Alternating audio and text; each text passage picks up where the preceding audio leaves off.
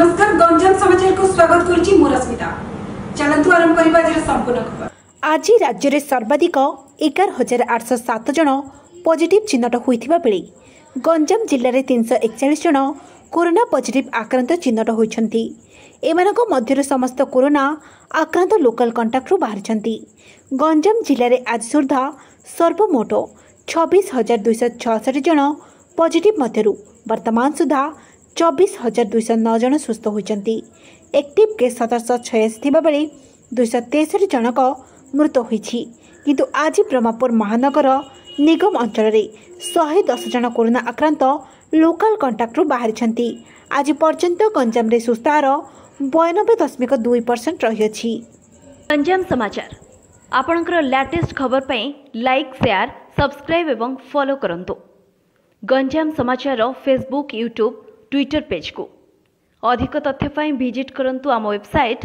W W W dot Ganjam Samachar dot com ରାଜ୍ୟ police DGP ଅଭୟଙ୍କ Brahmapur ଗସ୍ତ ଶନିବାର ବ୍ରହ୍ମପୁର ଆସିଛନ୍ତି ରାଜ୍ୟ ପୋଲିସ ମହାନିର୍ଦ୍ଦେଶକ ଅଭୟ ରାଜ୍ୟରେ କରୋନା ଦ୍ୱିତୀୟ ଲହରର ଦ୍ରୁତ ଅଭିବୃଦ୍ଧି ସହ ପ୍ରବାସୀମାନଙ୍କ ରାଜ୍ୟର ପ୍ରବେଶକୁ କଡ଼ାକଡ଼ି କରିବା ନିମନ୍ତେ ଶନିବାର ଦିନ ଆସିଥିଲେ ରାଜ୍ୟ ପୋଲିସ ଡିଜିପି ଅଭୟ ବ୍ରହ୍ମପୁର ଆସି ବ୍ରହ୍ମପୁର ଡିଆଇଜିଙ୍କ ସମ୍ମିଳନୀ କକ୍ଷରେ କୋଭିଡ ସ୍ଥିତି ନେଇ ସମୀକ୍ଷା କରିଥିଲେ। ଆଲୋଚନା ମାଧ୍ୟମରେ ବ୍ରହ୍ମପୁର ଏସ୍ପି ଓ ଗଞ୍ଜାମ ଏସ୍ପି ଦୃଷ୍ଟାନ୍ତମୂଳକ ପଦକ୍ଷେପ ନେଇ ଜିଲ୍ଲାରେ କରୋନା ଅଭିବୃଦ୍ଧିରେ ରୋକ ଲଗାଇବାରେ ସକ୍ଷମ ହୋଇପାରିଛନ୍ତି। ପୋଲିସର କାର୍ଯ୍ୟଶୈଳୀ ଚେକିଂ ବ୍ୟବସ୍ଥା ସନ୍ତୋଷଜନକ ଥିବା କହିଛନ୍ତି ଡିଜିପି ତେଣୁ ସେ ଜିଲ୍ଲା ପୋଲିସକୁ ଉତ୍ସାହିତ କରିଥିଲେ। ବ୍ରହ୍ମପୁରରେ ପୁଲିସ ଦ୍ୱାରା ଯେ କୋଭିଡ ଇନଫୋର୍ସମେଣ୍ଟ କାମ ହେଉଛି ତା ସମୀକ୍ଷା କରିଛି। Brahmapur S P Ganjam S P southern ranger DIG আমার additional DG law order participate কলে বহরমপুর এবং গঞ্জামে কোভিডর যে ইনফোর্সমেন্ট অছি সে স্যাটিসফ্যাক্টরি অছি তাপাই মু বহরমপুর এবং গঞ্জাম এসপি কো বধাই দেউছি এবং বহরমপুর এবং গঞ্জাম জনতা কো বি বধাই দেউছি যে সে ভালো কোঅপারেট করুছন্তি ଏବେ ଆପଣମାନେ ଜାଣିଛନ୍ତି ଓଡ଼ିଶା ବାହାରେ କୋଭିଡ଼ ଆଉ ବଢ଼ିଯାଇଛି ସେଥିପାଇଁ ଆମ ବୋର୍ଡର ଚେକ୍ ଗେଟ୍ ହେଇଛି। ତାର ଇନଫୋର୍ସମେଣ୍ଟ କାମ ଏବେ ଆରମ୍ଭ ହେଇଛି। ମୁଁ ବ୍ରହ୍ମପୁର ପବ୍ଲିକକୁ ଏବଂ ଗଞ୍ଜାମ ପବ୍ଲିକକୁ ଅପିଲ୍ କରୁଛି କି ସେ ସବୁବେଳେ ଘରसे ଯେତେବେଳେ ବି ବାହାରିବେ ନାହିଁ ଯଥାଶକ୍ତି। ଯଦି ବାହାରିବେ ନିଶ୍ଚୟ ମାସ୍କ ପିନ୍ଧିଥିବେ। ଯେଉଁ ଛୋଟ ଟାଇମ୍ ୱିଣ୍ଡୋ ଅଛି ଯେତେବେଳେ ଆପଣ ଯାଇକି ନିଜର ଗ୍ରୋସରୀ ସପିଂ କି ଭେଜିଟେବୁଲ୍ ସପିଂ କରିପାରିବେ ସେତେବେଳେ କେଉଁଠି ସୋସିଆଲ୍ ଡିଷ୍ଟାନ୍ସିଂ ମେଣ୍ଟେନ୍ କରିକି ରହି ରଖିବେ କେଉଁଠି ଗହଳି କରିବେ। ଏଟା ଆପଣଙ୍କର ଇଣ୍ଟରେଷ୍ଟରେ ଅଛି ଗଞ୍ଜାମ ଇଣ୍ଟରେଷ୍ଟରେ ଅଛି ଓଡ଼ିଶା ଇଣ୍ଟରେଷ୍ଟରେ ଅଛି ଏବଂ ଦେଶ ଇଣ୍ଟରେଷ୍ଟରେ ଅଛି।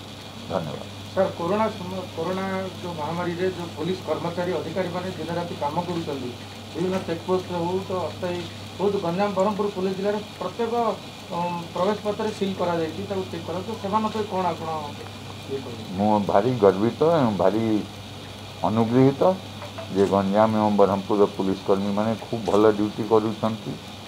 Much beyond the call of duty ଯାଇକି କଣ୍ଟିନ୍ୟୁଅସ୍ ଡ୍ୟୁଟି କରୁଛନ୍ତି ସବୁଆଡ଼େ ଏବଂ ଲୋକର ସେବା କରୁଛନ୍ତି। ମୁଁ ତାଙ୍କୁ ବିଶେଷ ବଧାଇ ଦେଉଛି। ବ୍ରହ୍ମପୁର ସମସ୍ତ ଥାନା ପରିଭ୍ରମଣ ସହ ନୂତନ ଭାବରେ ନିର୍ମିତ ହୋଇଥିବା ଗୋସାଇ ନୂଆଗାଁ ଥାନା ମଧ୍ୟ ବୁଲି ଦେଖିଥିଲେ। ଆନ୍ଧ୍ରପ୍ରଦେଶ ସୀମାନ୍ତରେ ଗଞ୍ଜାମ ଜିଲ୍ଲା ରହୁଥିବା ଯୋଗୁଁ ବର୍ତ୍ତମାନ ଏହି ଜିଲ୍ଲା ଉପରେ ନଜର ଅଧିକ ରହିଛି। ମୁଖ୍ୟତଃ ଗଞ୍ଜାମ ଜିଲ୍ଲାର ବ୍ରହ୍ମପୁର ସହର ଏବଂ ଦୁଇ ତିନୋଟି ବ୍ଲକ ଏହି ସୀମାନ୍ତ ଅଞ୍ଚଳରେ ରହିଛି। ଏହାକୁ ଆଧାର କରି ଆଜି ଓଡ଼ିଶା ଆନ୍ଧ୍ର ସୀମାରେ ଥିବା ଗିରିସରା ପ୍ରବେଶ ଫାଟକ ଯାଇ ସେଠାରେ ପୋଲିସ କିପରି କାର୍ଯ୍ୟ କରୁଛନ୍ତି ତାର ତଦାରଖ କରିଥିଲେ ଏବଂ ପ୍ରବେଶ ଫାଟକ ନିକଟବର୍ତ୍ତୀ ଥାନା ଗିରିବା ସହ ଯେଉଁମାନେ ବାହାର ରାଜ୍ୟରୁ ଆସିଛନ୍ତି ରାଜ୍ୟ ସରକାର ପ୍ରଚଳିତ କରିଥିବା କୋଭିଡ୍ ନିୟମକୁ କଡ଼ାକଡ଼ି ପାଳନ କରିବାକୁ ପରାମର୍ଶ ଦେଇଥିଲେ। ପୋଲିସ ଡିଜିପିଙ୍କ ଏହି ଦିନକିଆ ଗସ୍ତରେ ପୋଲିସ ଡିଜିଙ୍କ ସହ ଏଡିଜି ଯଶବନ୍ତ ଜେଟବା ଦକ୍ଷିଣାଞ୍ଚଳ ଡିଆଇଜି ସତ୍ୟବ୍ରତ ଭୋଇ ବ୍ରହ୍ମପୁର ଏସ୍ପି ପିନାକ ମିଶ୍ର ଓ ଗଞ୍ଜାମ ଏସ୍ପି ବ୍ରିଜେଶ ରୟ ଅତିରିକ୍ତ ଏସ୍ପି ପ୍ରଭାତ ରାଉତରାୟ ଏସ୍ଡିପିଓ ବିଷ୍ଣୁ ପ୍ରସାଦ ପତି।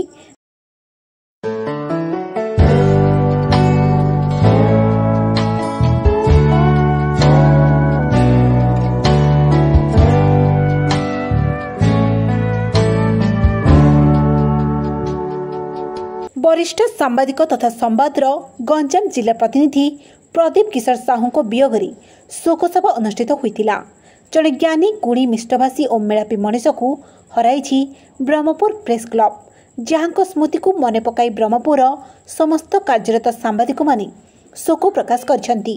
ଦକ୍ଷିଣାଞ୍ଚଳ ଡିଆଇଜିଙ୍କ କାର୍ଯ୍ୟାଳୟ ପରିସରରେ ବିଭିନ୍ନ ଗଣମାଧ୍ୟମର ବ୍ୟକ୍ତିବିଶେଷମାନେ ଉପସ୍ଥିତ ରହି ଦୁଇ ମିନିଟ୍ ନିରବ ପ୍ରାର୍ଥନା କରିବା ସହ ସାମ୍ବାଦିକ ଜଗତରେ ସ୍ୱର୍ଗତ ସାହୁଙ୍କ ଭୂମିକାକୁ ମନେ ପକାଇଥିଲେ।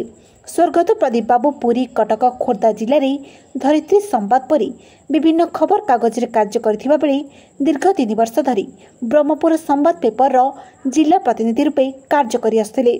ପ୍ରଦୀପ ବାବୁଙ୍କ ବିୟୋଗ ବ୍ରହ୍ମପୁର ସାମ୍ବାଦିକଙ୍କ ପାଇଁ ଏକ ଅପୂରଣୀୟ କ୍ଷତି। ଏହି ଶୋକସଭାରେ ବ୍ରହ୍ମପୁର କାର୍ଯ୍ୟରତ ସାମ୍ବାଦିକ ଅଶୋକ ବ୍ରହ୍ମା ଚିରଞ୍ଜିତ ରାଜଗୁରୁ ଶିବରାମ ଚୌଧୁରୀ ସମୀର ଆଚାର୍ଯ୍ୟ ସୁରଜିତ ପଣ୍ଡା ନାରାୟଣ ମହାଙ୍କୁଡ଼ ରାଜା ରାଓ ବିନୋଦ ପ୍ରଧାନ ଆଲୋକ ସାହୁ ମାନସ ବିଷୋଇ କୈଳାସ ବେହେରା ପ୍ରହ୍ଲାଦ ସାହୁ ଅମର ଦାସ ବିଶ୍ୱନାଥ ମାରାଣା ମୃତ୍ୟୁଞ୍ଜୟ ସାହୁ ମନୋଜ ପଣ୍ଡା ଉପସ୍ଥିତ ଥିଲେ। ଗଞ୍ଜାମ ସମାଚାର। ଆପଣଙ୍କର ଲାଟେଷ୍ଟ ଖବର ପାଇଁ ଲାଇକ୍ ସେୟାର ସବସ୍କ୍ରାଇବ୍ ଏବଂ ଫଲୋ କରନ୍ତୁ।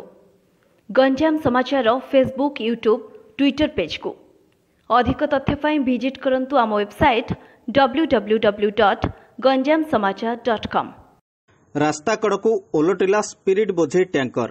ଭଞ୍ଜନଗର ବ୍ରହ୍ମପୁର ମୁଖ୍ୟ ରାସ୍ତାର ଗୋବରା ଓ ଷଡ଼ଙ୍ଗୀପଲ୍ଲୀ ମଝିରେ ମଧ୍ୟରାତିରେ ଘଟିଛି ଏଭଳି ଏକ ଅଘଟଣ।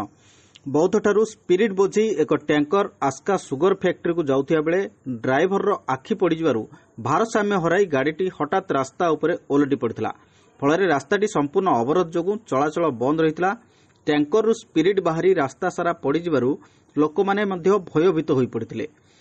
ଖବର ପାଇ ଗାଙ୍ଗପୁର ଥାନା ଅଧିକାରୀ ଧୀରେଶ କୁମାର ଦାସ ଘଟଣାସ୍ଥଳରେ ପହଞ୍ଚି ଗାଡ଼ିରେ ଗୁରୁତର ଅବସ୍ଥାରେ ଥିବା ଡ୍ରାଇଭର ଓ ହେଲ୍ପରକୁ ଉଦ୍ଧାର କରି ଭଞ୍ଜନଗର ମେଡିକାଲକୁ ପଠାଇଥିଲେ। ପରେ ଦୁଇଟି କ୍ରେନ୍ ସାହାଯ୍ୟରେ ଉକ୍ତ ଟ୍ୟାଙ୍କରକୁ ଉଠାଯାଇ ରାସ୍ତା କଡ଼ରେ ରଖାଯାଇଥିଲା। ଭଞ୍ଜନଗରରୁ ଅଗ୍ନିଶମ ବିଭାଗ ଆସି ରାସ୍ତାକୁ ବିପଦମୁକ୍ତ କରିବା ପରେ ଦିନ ଏଗାରଟା ପରେ ଯାତାୟାତ ସ୍ୱାଭାବିକ ହୋଇଥିଲା। ଆଜିର ଖବରକୁ ଏଇଠି ରଖୁଛୁ। ନମସ୍କାର।